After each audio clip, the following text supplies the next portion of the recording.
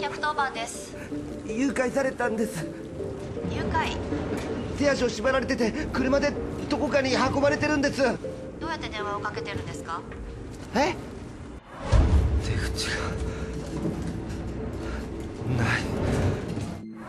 おいさっきから何をガチャガチャさらしとんじゃんお前。借金があるんですよ。誘拐したってお金ありませんよ。あなたも閉じ込められてるんですか？私だけじゃない。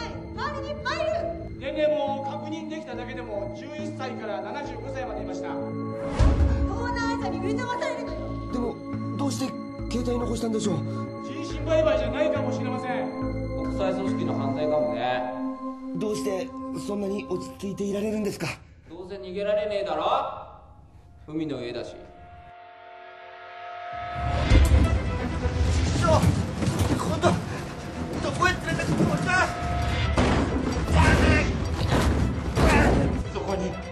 デルハイトはある絶対諦めるもんか。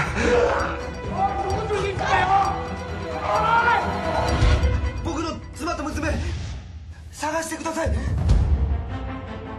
父さんが助けてやる。だから絶対待ってろ。